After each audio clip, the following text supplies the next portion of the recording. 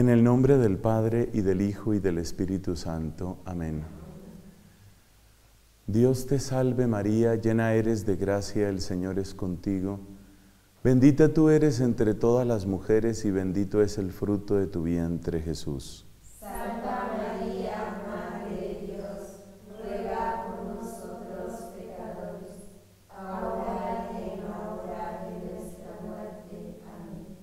En el nombre del Padre y del Hijo y del Espíritu Santo. Amén. Muchas gracias, hermanas, por esta amable y fraterna invitación. Quiero compartir con ustedes un tema muy propio de nuestra orden y muy propio del año que estamos viviendo, según el llamado y la inspiración del Papa Francisco. La palabra que más hemos escuchado en este año es la palabra misericordia. La razón por la que me encuentro en Cochabamba es también por la misericordia de Dios y porque hay un simposio teológico sobre la misericordia. De manera que he sido invitado a participar con unas reflexiones, pero es que además en nuestra comunidad dominicana la misericordia se hace presente desde el primer día. Recordemos que es la primera petición que hacemos, ¿no? ¿Qué pides? La misericordia de Dios y la de la orden de predicadores. De modo que el lenguaje de la misericordia está inscrito, podríamos decir, en nuestro código genético. Vamos a hablar de la misericordia, pero como son tantos los aspectos, ¿en qué nos vamos a centrar? Vamos a comentar la dimensión trinitaria de la misericordia. Dimensión trinitaria de la misericordia. Porque cuando nosotros miramos nuestro propio caminar vocacional, cuando miramos nuestra propia historia, pues finalmente es la historia del encuentro con el Dios uno y trino. ¿Qué es lo que uno espera, por ejemplo, de una religiosa contemplativa? Por supuesto, por vocación, ha de ser una persona con una profunda experiencia de Jesucristo pero ha de ser también una persona que conoce la unción, el fuego, el consuelo del Espíritu Santo. Y ha de ser una persona que con esa gracia del Espíritu reconoce a Dios como su Padre y se sabe verdaderamente hija de ese Padre Celestial. O sea que nuestra vocación como consagrados, como consagradas, es una vocación trinitaria y la experiencia de el encuentro con el Padre, con el Hijo, con el Espíritu Santo, va en, en cierto sentido marcando nuestra madurez. Una persona a la que le falta esa experiencia del amor de Dios Padre, uno dice es una vocación que necesita crecer, que necesita madurar mucho más. Así que esa es la ese es el enfoque, ese es el tema que vamos a tomar en esta ocasión. La dimensión trinitaria de la misericordia. ¿En qué nos vamos a apoyar? Nos vamos a apoyar en las atribuciones, que ese es un tema muy hermoso de la teología sobre la Trinidad, y nos vamos a apoyar en el esquema de Santa Catalina de Siena, doctora de la Iglesia, que también nos enseña con abundancia sobre el misterio trinitario. ¿Qué son las atribuciones? Atribución es aquello que de un modo especial se asocia con una de las personas divinas. Por ejemplo, si nosotros hablamos del misterio de la redención, en la redención, por supuesto que interviene Dios Padre que nos dio a su Hijo. Por supuesto que interviene el Espíritu Santo, que es el que hace esa obra en cada uno de nosotros. Pero la redención se atribuye particularmente a Jesucristo. Es decir, aunque es obra de toda la Trinidad, sin embargo, se asocia en especial con el Hijo, con Jesucristo. Eso es lo que se llama una atribución. Las atribuciones son entonces asociaciones particulares que se hacen de algunas obras que de suyo pertenecen a toda la Trinidad, pero que por el despliegue que han tenido en la historia de la salvación es más fácil relacionarlas con el Hijo o con el Padre o con el Espíritu. Entonces, ¿cuáles son las atribuciones fundamentales dentro de la teología católica cuando hablamos de las personas divinas? ¿Cuáles son esas atribuciones? Es decir, ¿qué es lo que de un modo particular se atribuye al Padre, qué se atribuye al Hijo, qué se atribuye al Espíritu?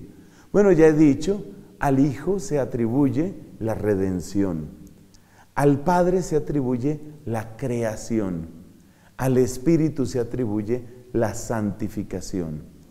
Entonces, creación, redención, santificación son en realidad obras de la Trinidad.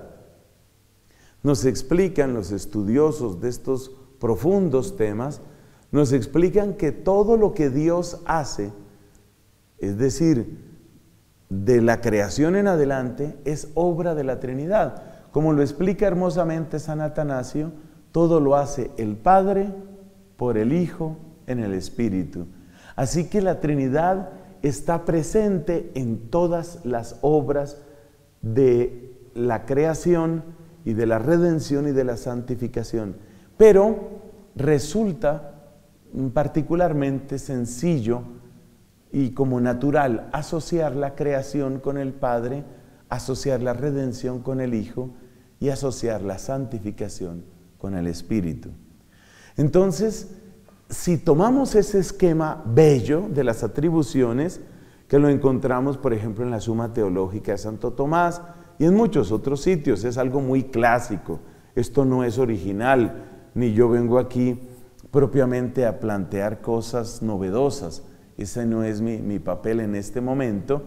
Entonces, ¿qué es lo que podemos decir sobre esas atribuciones? Podemos decir que en cada una de ellas aparece la misericordia.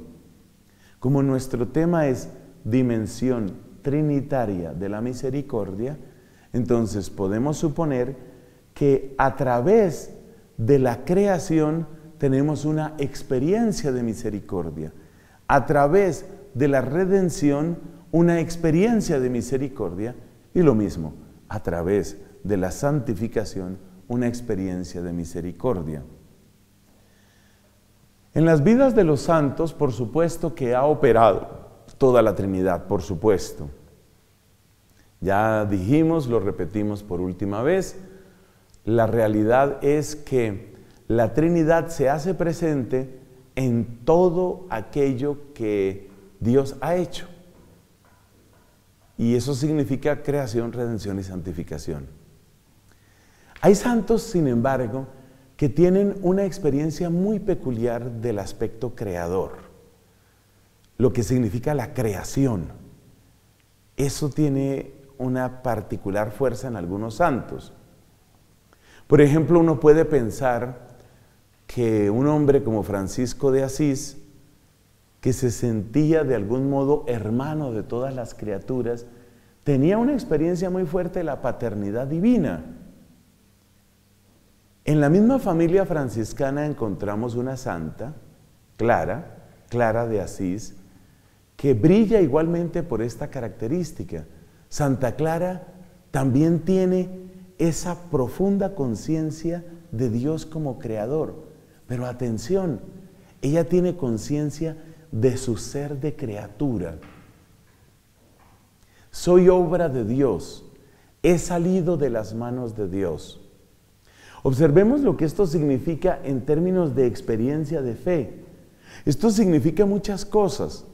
Esto significa, por ejemplo, que todo en mi cuerpo lleva la huella de Dios creador. Entonces observa la hermosa reconciliación que esto trae con el propio cuerpo.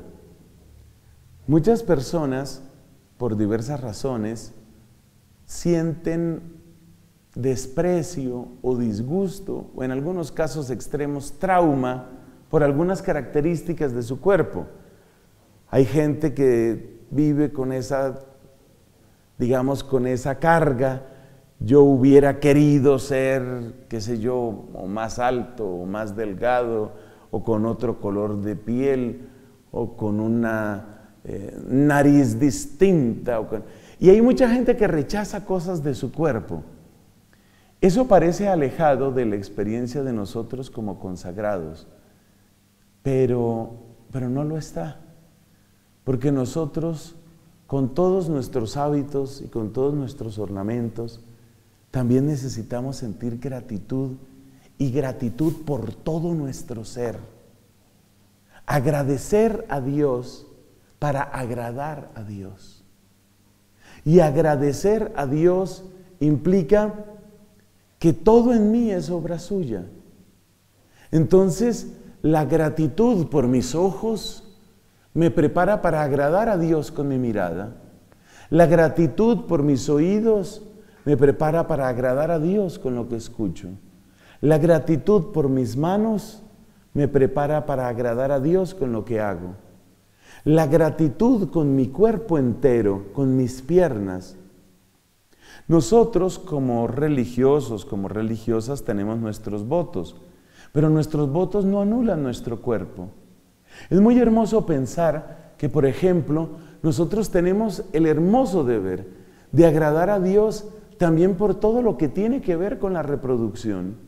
Nosotros no hemos de sentir ni asco, ni rechazo, ni miedo, ni fastidio. Todo lo que Dios ha hecho en mí, facultándome para ser verdaderamente hombre, porque soy varón en todas las células de mi cuerpo. Todo lo que Dios ha hecho en ti para que tú seas mujer en todas las células de tu cuerpo, todo eso está en el plan de Dios. Entonces la aceptación profunda de toda tu feminidad en todas las células y en todos los órganos y en todos los procesos de tu cuerpo, prepara dentro de ti una paz deliciosa, una paz que es muy bella y que es muy necesaria. La persona que está en conflicto consigo misma difícilmente podrá estar en paz con nadie. Y la paz empieza con la paz de nuestro propio cuerpo. Y eso proviene de la creación. Entonces sentir esa reconciliación con mi cuerpo, esa aceptación de mi ser, de hombre o de mujer, sentir esa aceptación profunda darle gracias a Dios por todo lo que yo soy. Alguien podría decir, bueno, pero no se supone que usted se vaya a reproducir. Pues sí, no se supone que yo me vaya a reproducir, pero es que la fuerza vital que está en los órganos de reproducción a mí me configura como lo que soy y a mí me configura en lo que hago. Es decir, la vitalidad que es propia de mi reproducción es algo que está presente en todo lo que yo hago. Entonces, las cualidades propias de un varón, las cualidades propias de una mujer, están presentes independientemente de que uno se reproduzca o no se reproduzca. Es decir, más allá de lo puramente genital, aquí estamos hablando de la hermosura de ser mujer, de la hermosura de ser hombre. Y eso, eso produce un primer acto de reconciliación, de paz, de gratitud, de experiencia de misericordia. Además, nuestros cuerpos, con toda la fuerza, la salud y la belleza que tengan, pues también tienen dificultades, también tienen limitaciones. Hace poco me comentaba un amigo sobre los problemas que tiene con este tema de triglicéridos. Bueno, los triglicéridos que son tan complicados. Pero es que parece que su organismo procesa mal esos elementos, esas sustancias, y eso le hace daño, es una limitación que él tiene. Entonces prácticamente tiene que vivir con una cantidad de restricciones de dieta porque su cuerpo multiplica el tema de los triglicéridos con un gran peligro pues para su salud. Otros tenemos otras dificultades. Por ejemplo, yo he tenido en ciertas etapas de mi vida, he tenido dificultades en el procesamiento y producción de algunas de las vitaminas de la familia B. Entonces eso significa que en ciertas épocas de mi vida me aparecen algunos dolores musculares. Me acuerdo la primera vez que eso me sucedió, estaba yo predicando un retiro a unas religiosas en el cercano país de Ecuador. Estaba yo predicando a las hermanas y, me iba dando cada vez más un malestar que yo ubicaba en el pecho. Entonces yo dije, no, estas hermanas me van a romper el corazón realmente. Había un malestar fuerte. Yo me preocupé, tuvieron que llevarme al médico. El médico hace los exámenes del caso y dice, aquí no hay ningún tema cardíaco. Me dijo, aunque no lo crea, usted es un hombre de buen corazón. Eso pues me, me levantó realmente el ánimo. Y me dice el médico, la dificultad suya está en la vitamina B. Entonces, de tanto en tanto, este servidor tiene que tomar suplementos de vitamina porque si no, empiezan dolores, calambres, a veces en el pecho, a veces... Son dificultades que uno tiene. Pero ¿qué pasa? ¿Qué tiene que ver esto con el tema de la creación? Cuando yo me doy cuenta de que soy obra de un Dios compasivo, poderoso, Dios que es mi Padre, yo digo, también, también, óigame esto, también las limitaciones de mi cuerpo son lenguaje suyo. Algo bueno quiere Dios con esto que me está pasando. O sea, no es solo el hecho de que tengo buenos ojos, tengo buena salud, eh, soy robusto, tengo vitalidad. No, también en mi cuerpo, también hay limitaciones. Pero es muy distinto ver esas limitaciones como problemas simplemente, como desgracias. Hay gente que mira eso así, como una desgracia, este problema que yo tengo. Es muy distinto a mirarlo como esto es parte de un plan, es parte del plan de Dios. Eso quiere decir que Dios a través de estas limitaciones también me está hablando. Entonces uno se pregunta, ¿por qué yo soy tan feo? Pero ya, ya tiene una respuesta. Algo bueno debe tener Dios pensado con esta fealdad. Este padre que es muy famoso, tal vez el más famoso exorcista de la Iglesia Católica, el padre Gabriel Amorth, exorcista de la diócesis de Roma, era un hombre que también tenía buen humor. Y entonces él decía que a él le ayudaba, lo feo le ayudaba para espantar al demonio. Decía el padre Gabriel Amor, tenía ese, ese buen humor. Entonces, uno debe pensar que también en las limitaciones que yo tengo, tengo problemas de circulación, tengo problemas de digestión, tengo problemas en los órganos de los sentidos, tengo problemas en mi piel, tengo problemas en las articulaciones. Es muy distinto mirar esos problemas solamente como problemas o mirarlos como providencias con las que Dios me quiere hablar. Es decir, Dios ya me empieza a hablar a través de mi propio cuerpo, a través de lo que yo soy como cuerpo. Esto es muy bello porque de inmediato cambia la perspectiva. Además, pues independientemente de todo lo bonitos y saludables que hayamos sido, es un hecho que los años van llegando. Como dicen en mi país, a ti los años no te pasan, se te quedan todos adentro. Entonces, esos años que se nos van quedando adentro también nos traen nuevas limitaciones.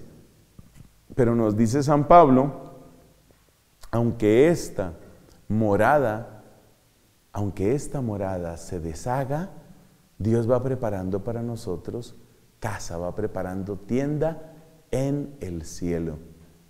Entonces, mirar lo que yo soy como creación. Luego, a, partir de las anotaciones de Santa Catalina, vamos a mencionar algo sobre las cualidades mentales y espirituales. Por ahora nos hemos quedado solo con el tema corporal. Resumen de este primer punto, qué hermoso ver nuestro propio cuerpo como el primer lenguaje del amor de Dios para mí.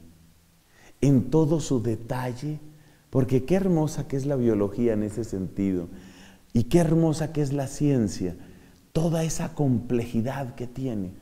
Yo me acuerdo en, mi cuarto año de secundaria, que llamamos bachillerato allá en, Colombia, me acuerdo en mi cuarto año de secundaria cuánto disfrutaba estudiando pues lo mínimo que estudia uno, no es nada avanzado, pero todo ese proceso de las enzimas en, en la digestión, cómo interviene el páncreas con algunas sustancias, el hígado con otras sustancias, luego en el intestino hay otras enzimas, y cómo todo eso trabaja como una especie de fábrica diminuta que va deshaciendo los alimentos para sacar los nutrientes exactos que va absorbiendo luego el cuerpo. Eso es muy bello, eso es muy bello.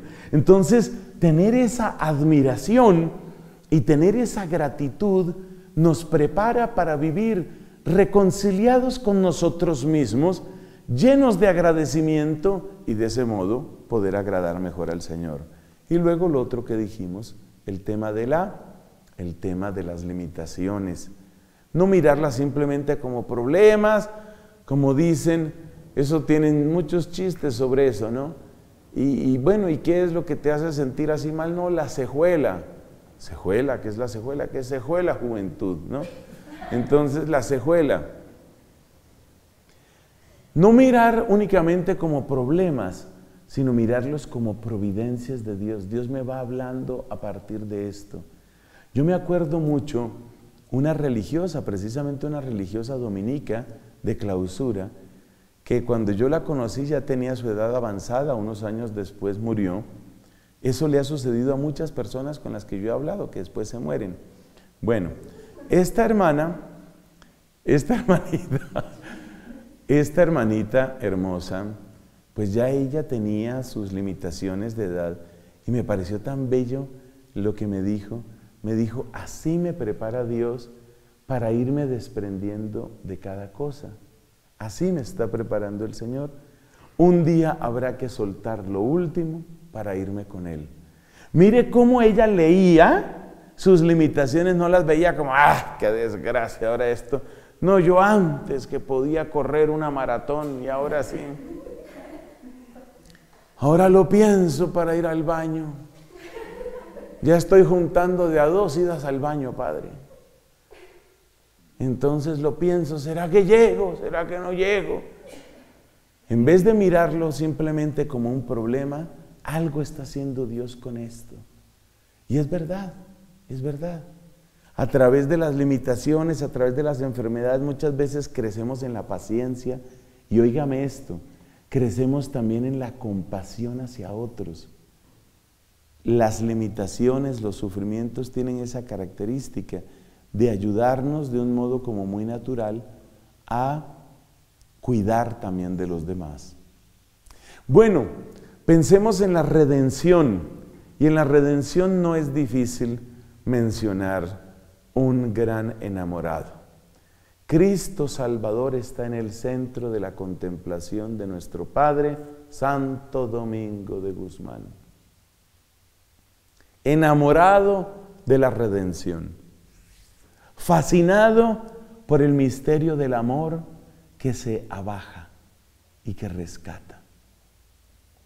Qué hermoso mensaje nos da Santo Domingo, cuya vida fue resumida con estas palabras. De día, nadie más atento al prójimo, de noche, nadie más constante en la oración. De día, hablando de Dios, de noche hablando con Dios. Y lo hermoso es la unidad que tiene la vida de Santo Domingo, la unidad. ¿Por qué unidad?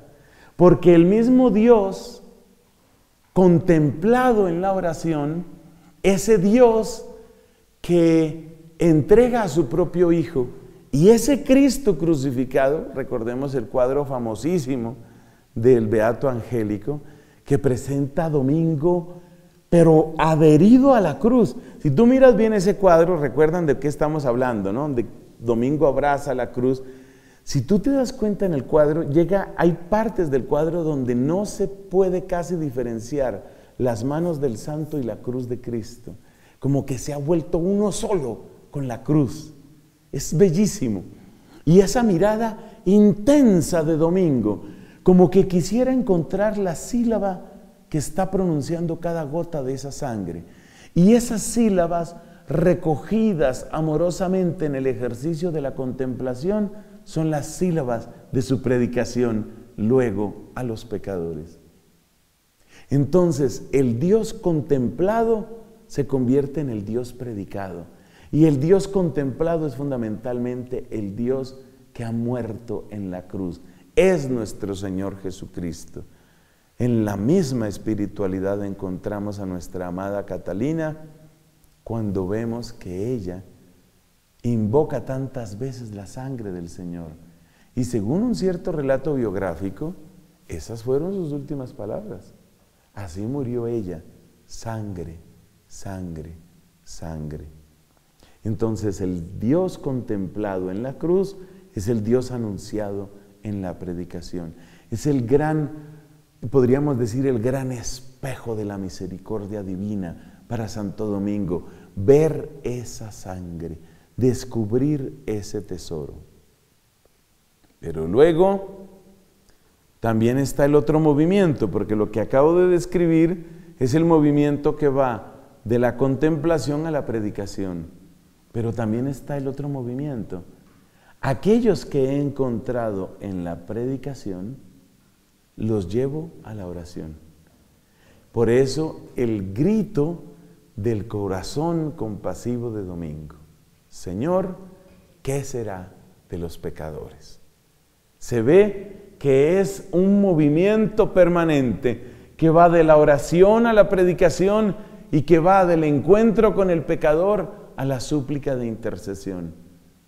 Es decir, hay como una circularidad, hay como un ritmo que no cesa en Santo Domingo.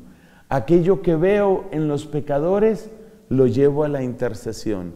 Descubro a Cristo, descubro la abundancia de ese amor, llevo la abundancia de ese amor a los pecadores descubro a los pecadores y los llevo a la intercesión. Y en ese círculo precioso se mueve la vida de nuestro Padre Santo Domingo.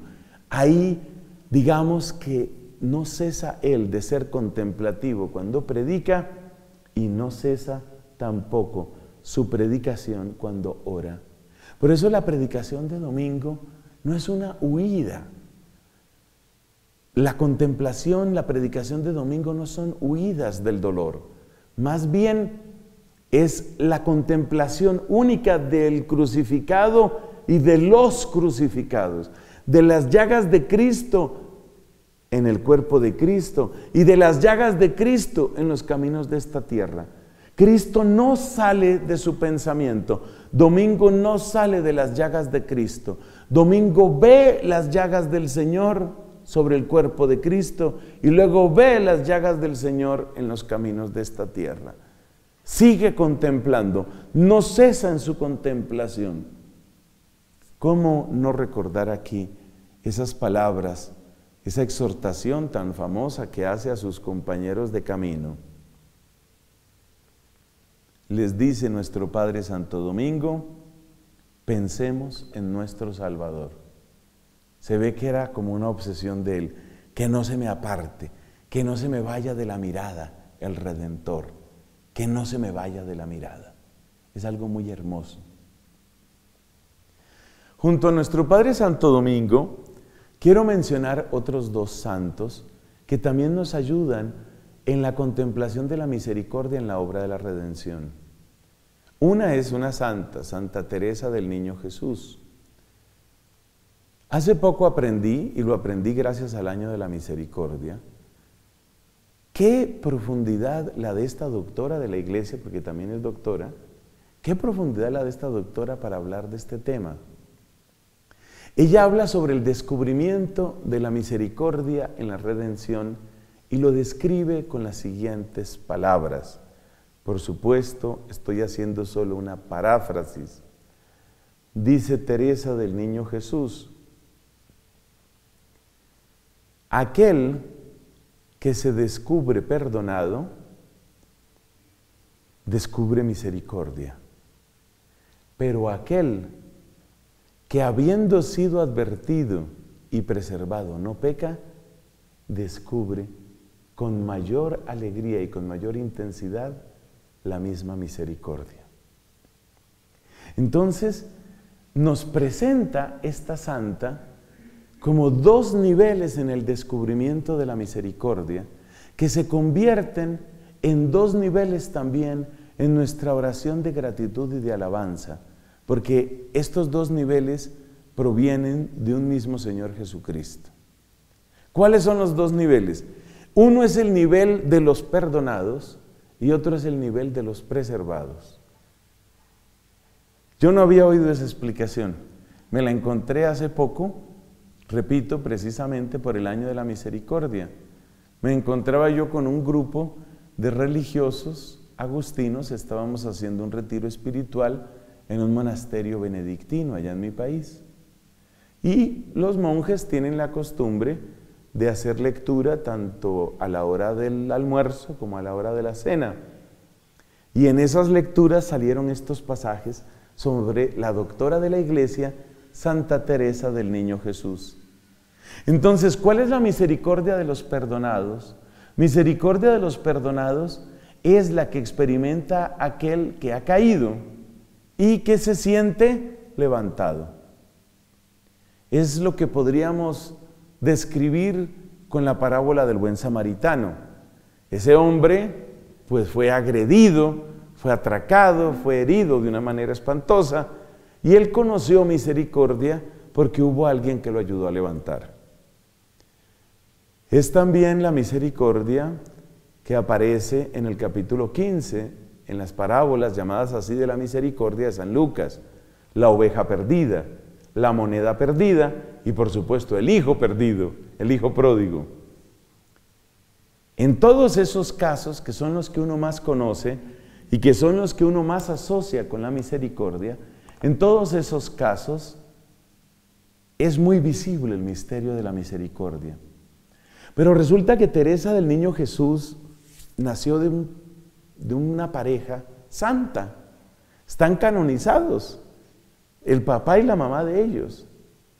De ellos porque pues varias de las hijas pues siguieron también ese camino de consagración. Entonces uno dice, o mejor dicho, ella dijo, pues nací en un hogar lleno de fe, lleno de amor. Evidentemente ya fue preservada de muchas cosas, y sale de ese hogar con dispensa especial para entrar a un monasterio de clausura, el monasterio de las Carmelitas. Entra pues al monasterio de clausura y por supuesto que pecar se puede pecar en muchas partes, pero evidentemente el monasterio facilita, para quien tiene una disposición, facilita evitar ocasiones de pecado. Uno podría decir, ¿cómo llega a conocer la misericordia una persona que no ha cometido esos pecados? Quizás pecados que pueden ser escandalosos, repugnantes o vergonzosos. La respuesta que encuentra Teresa es, cuando me doy cuenta de aquello de lo que he sido preservada, descubro en otro nivel y en otra intensidad la misericordia.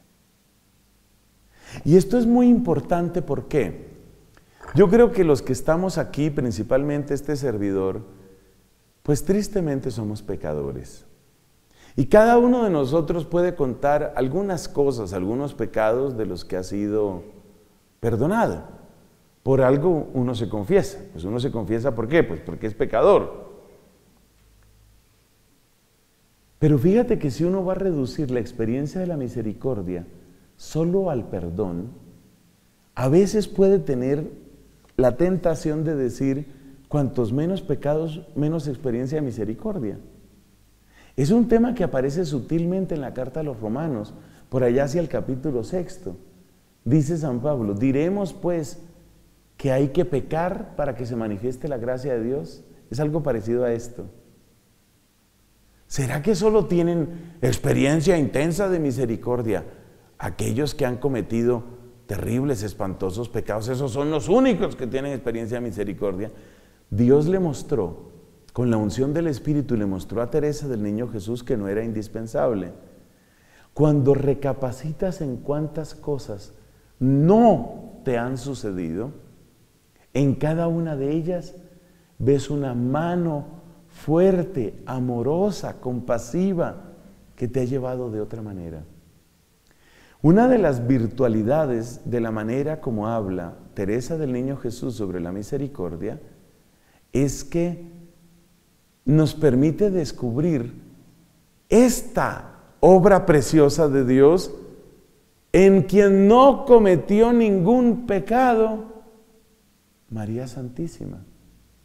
María Santísima tenía o no tenía experiencia de misericordia. Pues claro que tenía. Pero ¿cuál es la experiencia de María, Nuestra Señora la Virgen? ¿Cuál es la experiencia de misericordia en el caso de ella, si puesto que no ha cometido ningún pecado? Siguiendo la iluminación que el Espíritu Santo le dio a la Virgen y doctora de la Iglesia, Santa Teresita, lo que sucede es que de cada pecado del que he sido preservado debo dar gracias. O sea que la virtualidad de la sangre de Cristo no es solamente sanar las heridas del pecado, sino ser escudo para evitar el pecado. La razón por la que en los exorcismos se utiliza el crucifijo, la razón por la que se le presenta al enemigo malo, ¿dónde está mi crucifijo? Por la que se le presenta al enemigo malo la cruz, es porque ahí está esa sangre bendita que frena la obra del pecado.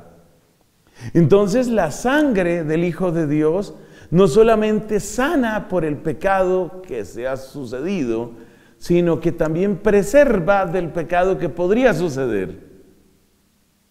Esto es muy bello, esto es muy bello, muy bello porque eso significa que entonces las dimensiones de la obra de la sangre de Cristo son infinitamente mayores que las dimensiones del pecado, de la obra del pecado en mí. Yo no puedo limitar el tamaño de la obra de la sangre de Cristo al perdón de los pecados, porque entonces la persona que tiene menos pecados parece que tendría menos obra de la sangre de Cristo. No, la sangre de Cristo perdona, pero la sangre de Cristo sella aleja el mal, previene frente al pecado, defiende la obra de la gracia. De hecho, en su encíclica, donde declara el dogma de la Inmaculada, el Papa Pío IX, habla precisamente de la abundancia de los méritos de redención de Cristo como causa próxima de la Inmaculada Concepción de la Virgen María. Qué cosa tan linda. O sea que es la redención de Cristo la que ha defendido de pecado a María. Redención que visiblemente ha aparecido ante nuestros ojos en la efusión de la sangre en la cruz. Entonces, qué luz tan hermosa la que nos da Teresa del Niño Jesús. Quiere decir que mi gratitud por la sangre del Señor y mi gratitud por la redención no la puedo volver tan chiquita como la historia de mis pecados. Mi gratitud por la redención tiene que ser tan grande como mi vida entera. Y más. ¿Por qué como mi vida entera? Porque de los pecados debo dar gracias porque Él los ha perdonado. Y de los no pecados debo dar gracias porque Él me ha preservado. Entonces esos son los dos niveles de misericordia que aparecen en Santa Teresa del Niño Jesús. Qué hermosa, qué preciosa experiencia la que tenemos ahí. El otro santo que quiero mencionar, que nos enseña en un lenguaje bien diferente, es nuestro muy querido mulato, San Martín de Porres. ¿Cómo nos enseña Martín sobre la misericordia? No se nos olvide que ya en vida era llamado Martín de la Caridad, lo cual habla de una abundancia, una sobreabundancia de amor en él. Lo que no debemos olvidar es de dónde saca él esa abundancia de caridad. La saca de la fuente. Y la fuente es la cruz como objeto de contemplación y la fuente es la Eucaristía como sacramento de vida en esta tierra y en la eternidad. Es la contemplación de la cruz la contemplación de la cruz es la que hace de Martín quien él es. Martín no es en primer lugar un hombre simpático y buena persona que andaba por ahí haciendo favores a quien se lo pidiera. No disminuyamos, por favor, la obra que Dios hace en sus santos. Martincito, Martín amado, es el contemplativo de la cruz. Recordemos que en alguna de sus biografías se cuenta cómo Martín de Porres fue visto levitando y en esa ocasión estaba contemplando el misterio de la cruz. Como que literalmente se cumplía en la vida de este hermoso santo dominico aquello que dijo Cristo, cuando yo sea levantado, atraeré a todos hacia mí. El Cristo levantado en la cruz atrajo a Martín hasta levantarlo del suelo, como expresando de esa manera la fuerza que tenía el misterio de la redención en este santo. Entonces, bueno, ahí tenemos tres maravillosos ejemplos. Domingo de Guzmán en ese círculo entre contemplación y predicación. Teresa del Niño Jesús, doctora de la iglesia, con esa luz prístina en que nos enseña Debemos agradecer misericordia por el pecado perdonado, pero también por el pecado del que hemos sido preservados. Y luego, nuestro querido Martín de Porres, gran contemplativo de la cruz, que bebe y recibe de ese misterio y solamente así puede compartirlo con los demás. Pasemos al tercer punto. Hemos mencionado en la creación a San Francisco y a Santa Clara. En la redención hemos mencionado a Santo Domingo, a Santa Teresa del Niño Jesús y a San Martín de Porres. En la obra del Espíritu podríamos mencionar a tantos, a tantos, pero yo quiero empezar, quizás demos otros ejemplos, porque veo que el tiempo también va corriendo y me interesa mucho que mencionemos lo de la imagen de la Trinidad en el alma según Santa Catalina. Pasamos a la parte de la santificación y yo quiero mencionar un santo del siglo XVI, San Felipe Neri. San Felipe Neri, presbítero de la diócesis de Roma, es notable por varios aspectos. Es notable por la alegría es conocido particularmente por la alegría. Cosa muy curiosa, porque cuando uno piensa en las disposiciones de Trento y cuando uno piensa en el siglo XVI, será por tanta mala propaganda que se le ha hecho ese concilio, pero uno como que piensa en lugares lúgubres y uno como que se imagina bóvedas en penumbra y voces profundas que hablan del juicio divino. Y resulta que en pleno siglo XVI nos encontramos a una Teresa de Jesús, la otra, la de Ávila, que describe el cielo como un alegrarse que todos se alegren.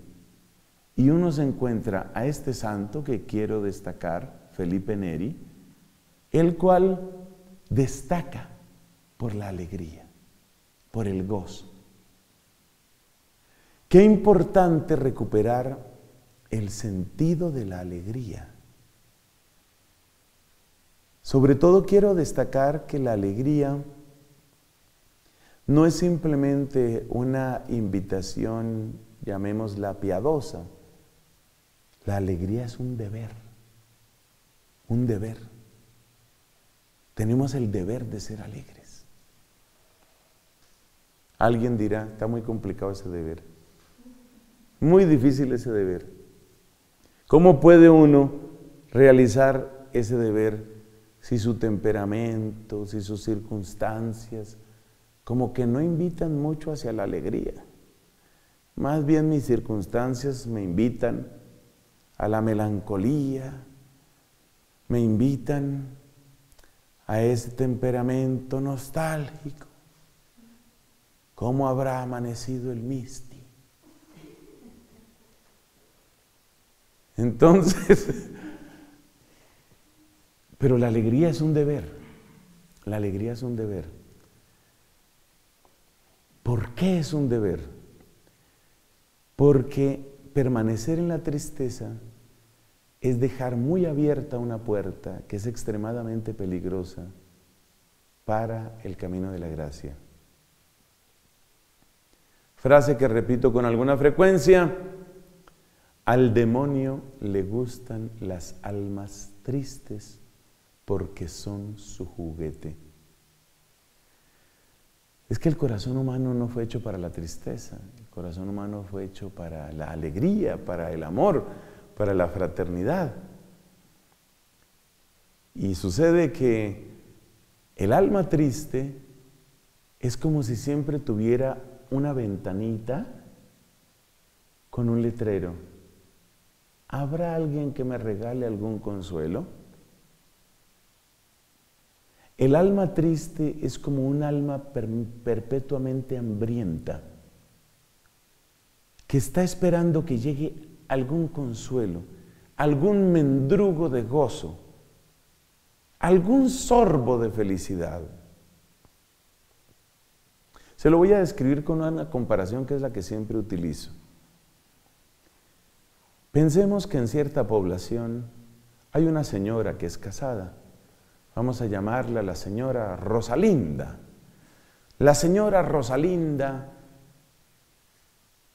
es casada, feliz de su esposo, orgullosa de su hombre, del hombre que está en su vida, feliz de sus hijos, feliz de su casa. Es decir, se siente plena en su matrimonio se goza a sus hijos, ya uno de sus hijos se casó, ya le dio nietos, se goza a sus nietos, aplica lo que hacen todas las abuelas, y lo que hacen todas las abuelas es decir, los papás que los críen, yo los malcrío. Ese es el lema de todos los abuelos y abuelas en muchas partes del mundo. Entonces, esta mujer está feliz. O sea, tú hablas con ella y ella se siente segura, bien amada, respaldada, orgullosa de su hogar, de su esposo, de sus hijos. ¿Para qué te describo todo esto? Para hacerte esta pregunta. Supongamos que algún impertinente, cínico, pretendiera acercarse a ese hogar y hacerse amigo de esa familia con el oscuro y tenebroso objetivo de enamorar y seducir a esa mujer, lo va a tener muy difícil. Muy difícil lo va a tener. Porque ella es feliz. Porque ella siente que se casó con el mejor hombre del mundo. Otros tendrán otras opiniones. Pero lo importante es que ella siente eso. Ella siente que su esposo y ama a su esposo y uno mira al esposo calvo, barrigón y feo, pero ella le parece, le parece tan lindo esa barriguita, como le cuelga la barriguita. Y ella feliz con su esposo barrigón, calvo, feo, y feliz con sus hijos y feliz. Precisamente porque está feliz, es muy difícil seducirla. Ahora pensemos otro caso. En el mismo pueblo, existe otra mujer, la cual se llama Tremebunda. Tremebunda tiene muchas dudas de su esposo, en realidad no se ha sentido amada por él. Apenas tuvieron un hijo, el esposo lo mandó a estudiar lejos, esta mujer trata de cuidar un poco el jardín, pero todo se le muere. Se pone a cocinar y en alguna ocasión se le cortó el agua. O sea, nada le funciona. Pasa los días aburrida, sola, triste. ¿Qué cree usted que puede suceder si llega por ahí un Juan Tenorio, llega un Casanova y la ve todavía como muy jovencita, como muy bonita y como tan solita, esa sí está en peligro. Esa sí.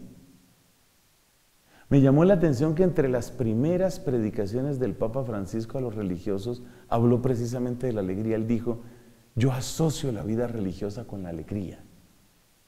Tienes razón. Es muy peligroso un religioso, una religiosa sin alegría es un ser muy peligroso. ¿Por qué es muy peligroso? Porque buscará a quien le alegre. o buscará que le alegre. A veces lo buscará en una persona, como me decía, como nos decía mi maestro de novicios. Decía él, el que está en crisis siempre busca a alguien que lo comprenda. Nadie me comprende. En este monasterio nadie me comprende, nadie, nadie. Nadie me entiende, nadie. Ay, qué vida la mía, qué vida. Esa persona está en un peligro muy grande.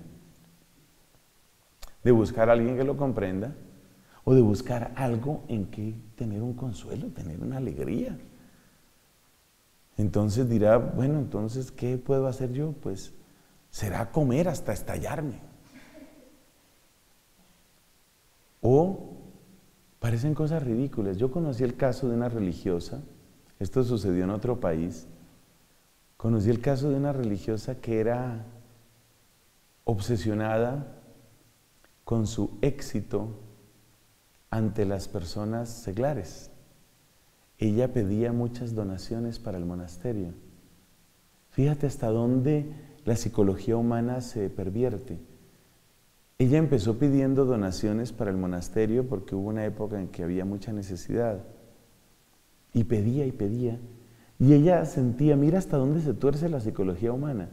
Ella sentía que era un éxito cada donación que lograba. Les donaban mucha comida entonces les donaban, por ejemplo, de estas em, cajas de alimentos que dan en algunas partes, ¿no? Lo que llaman alimentos imperecederos, cajas de alimentos. Y ella empezó a llenar toda una bodega con esas cajas y cajas y cajas. Y a pesar de que se llaman alimentos imperecederos, pues después de un año eso también se pudre, después de un tiempo. Y resulta que tuvieron que hacer una visita canónica al monasterio porque esta mujer cada vez estaba peor de la cabeza y van a ver la tal bodega esa, más de la mitad de todos esos alimentos eran basura, comida de ratas, pero ella seguía, era pidiendo, y cada vez que lograba que entraba más y más, ella sentía que era importante y que tenía un cierto margen de influencia. Que, que, yo creo que es de las historias más raras y más tristes que yo haya oído de la vida religiosa, pero esas cosas pasan. Entonces ahí es donde uno ve que hay un deber de estar alegres. Estar alegres no significa necesariamente estar echando chistes todo el rato, porque entonces eso puede alterar la salud mental del resto de las monjas. Pero estar alegres, ¿qué es?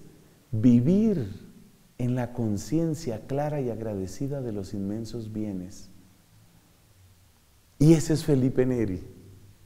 La alegría de Felipe Neri no es la alegría de un cuentachistes. La alegría de Felipe Neri no es la alegría del que cada semana se ganaba una lotería. No, la alegría de Felipe Neri es la alegría del que tiene la conciencia de los bienes recibidos. Y esos bienes se hacen actuales en nosotros a través de la acción del Espíritu. Uno de los grandes carismáticos de la historia de la iglesia, San Felipe Neri, un hombre con una gran conciencia de la presencia del Espíritu, con muchas de las cosas que uno asocia con la renovación carismática. Yo que vengo un poco de ese mundo carismático, los cantos. Oh, el canto importantísimo para Felipe. Él fundó una serie de lo que hoy llamaríamos grupos de oración, él los llamaba oratorios. Y él fundó una cantidad de oratorios allá en Roma. Y para él era muy importante que la gente orara y que la gente cantara, que la gente bendijera a Dios. Era muy importante porque él sabía que cada corazón que se fascina por Dios es un corazón que muy difícilmente va a caer en el pecado. Qué metodología tan hermosa la de este hombre, lleno, realmente lleno del poder del Espíritu Santo. Qué hermoso encontrar a este carismático y ver que a través de esa acción del Espíritu, Él empieza a contagiar de fuego a una ciudad que es tan difícil de fascinar como Roma. Decía un padre colombiano que vivió unos años en, Roma, decía, mira, en esta ciudad hay tantos congresos de tan alto nivel, hay tantos doctores y postdoctores y obispos y cardenales. Decía él, en esta ciudad, refiriéndose a Roma, a duras penas sobresale el Papa, a duras penas. Pues en esa Roma, que a veces parece ya cansada de verlo todo, en esa Roma destacó Felipe Neri por la fuerza del Espíritu y por el incendio de su corazón lleno de gozo. Bueno, pasemos brevemente, porque el tiempo transcurre, pasemos a la explicación que nos da Santa Catalina sobre la Trinidad. Ya hemos mencionado con el ejemplo de estos santos cómo hay hombres y mujeres que han tenido experiencias muy fuertes de la misericordia divina del Padre, del Hijo y del Espíritu. De Santa Catalina quiero destacar un esquema muy sencillo, pero muy pedagógico. Es un esquema que tiene su fuente en San Agustín. Yo me he preguntado, pues hace tiempo que mm, me siento cercano a la enseñanza de Santa Catalina y la cito con frecuencia porque me parece un tesoro precioso de nuestro carisma dominicano. Pero lo que quiero mencionar ahora es algo que viene de la tradición agustiniana. Y yo me he preguntado, ¿de dónde sacó ella eso? ¿De dónde sacó tanto de San Agustín? Sabemos que solo aprendió a leer y escribir de un modo milagroso además cuando ya iba bien avanzada su vida, aunque su vida fue muy breve. Y ella empezó a predicar estos temas que están emparentados con la teología de San Agustín mucho antes de poder saber leer y escribir. O sea, no fue evidentemente por lectura directa, es lo que quiero decir. Pues es que entendamos que Catalina vive en el siglo XIV y entendamos que quien domina el panorama de la predicación católica, por lo menos hasta el siglo XVI, de una manera indiscutida, es San Agustín. Es impresionante San Agustín, es un gigante y San Agustín estaba muy, muy presente en la predicación de la iglesia, de manera que era el gran maestro de teología y de predicación para muchos. Hay que suponer que además de los auxilios de la gracia divina, lo que se llama ciencia infusa en Santa Catalina, también ella recibió eh, mucho por la predicación de la iglesia, donde era abundante el tema de San Agustín. ¿A qué me refiero concretamente? En su estudio sobre la Trinidad, San Agustín sigue un camino parecido al de las atribuciones que hemos mencionado. Y San Agustín hace un paralelo entre lo que él llama las potencias del alma y las tres divinas personas. Potencias del alma para San Agustín, y es el esquema que sigue Catalina, aunque ella lo profundiza y lo hace avanzar, Potencias del alma son la inteligencia, la voluntad y la memoria. memoria, inteligencia y voluntad son tres potencias del alma. Y en esas tres potencias del alma hay como vínculos que podemos conectar con las tres divinas personas. Porque resulta que nuestra inteligencia lo que busca es la verdad. Y hay alguien que dijo, yo soy el camino, la verdad y la vida.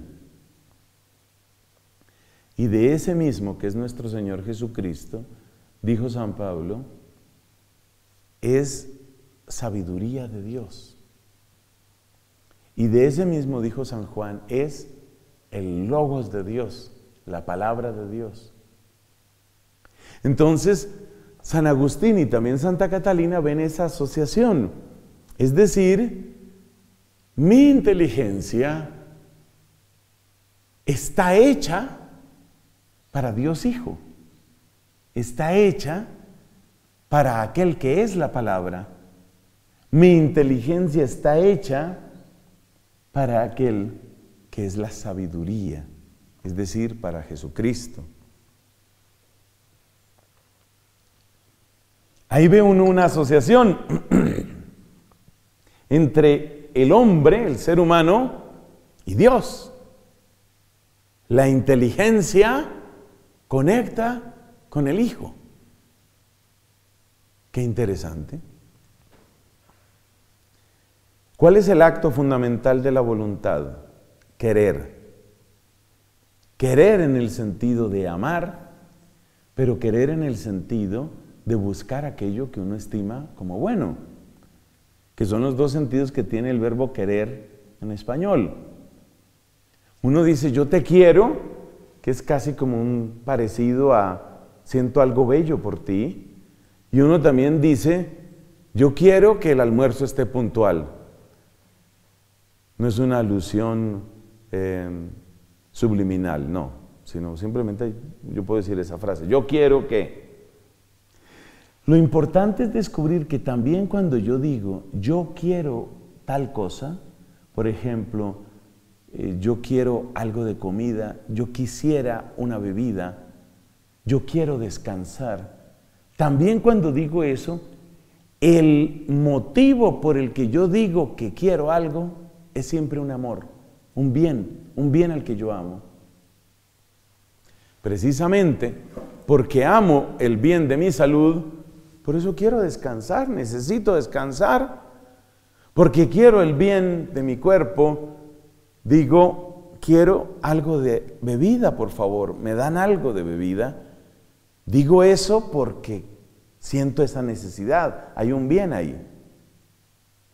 Entonces, según este análisis, evidentemente nuestra voluntad está siempre movida por el bien y si lo miramos mejor por el amor. ¿Y qué dice el capítulo quinto de la carta a los romanos? Dice en uno de esos versículos, el amor de Dios ha sido derramado en nuestros corazones con el Espíritu Santo que se nos ha dado.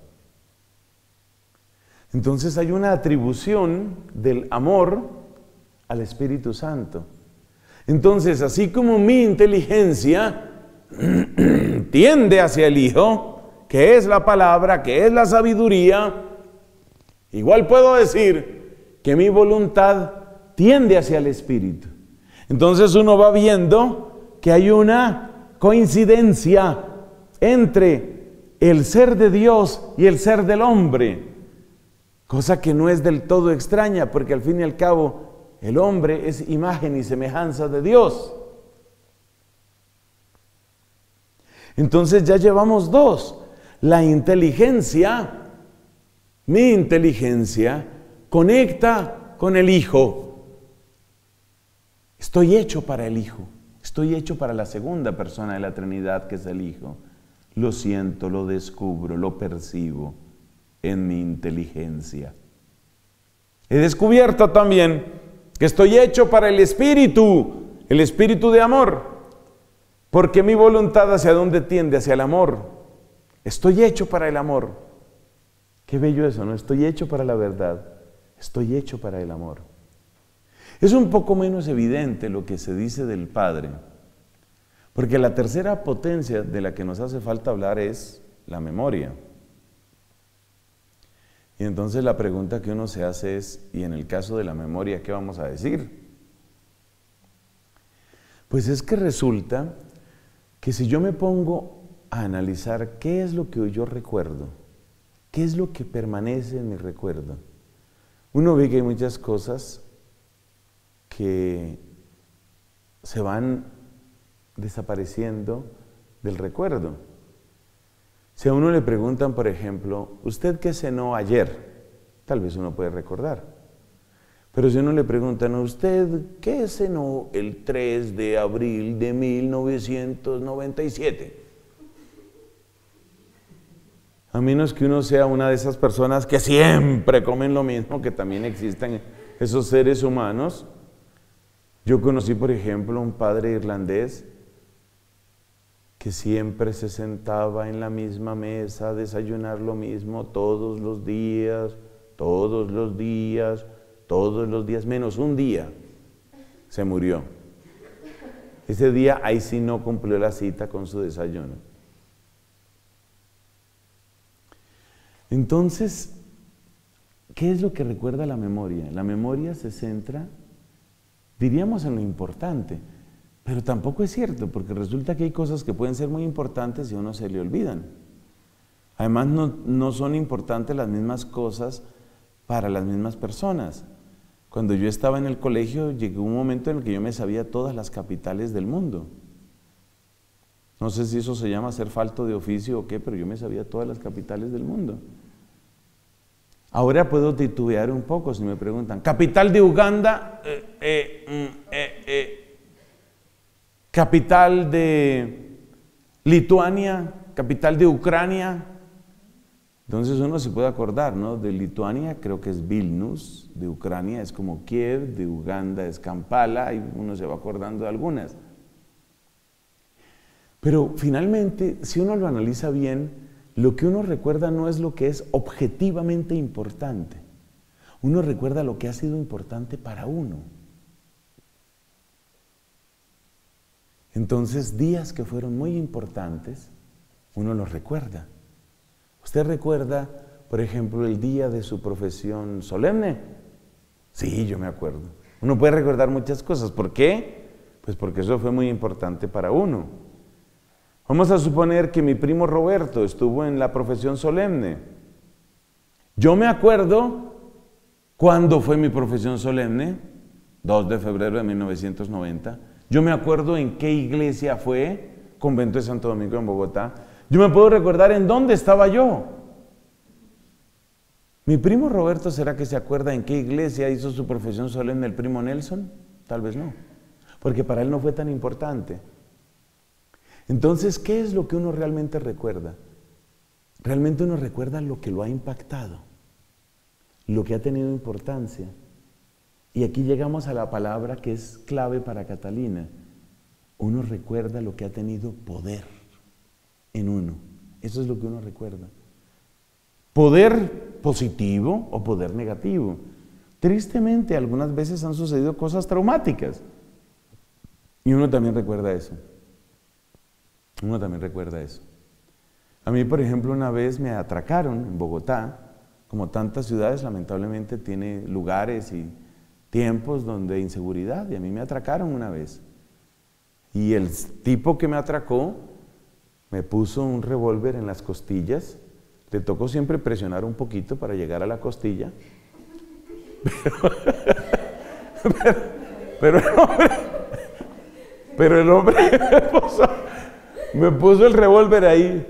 Y yo me acuerdo, y me acuerdo dónde sucedió, y me acuerdo la manera como me trataron, porque eran varios, y los insultos contra la iglesia, pues se dieron cuenta que yo era sacerdote. Yo me acuerdo de muchas cosas, de todo eso me acuerdo.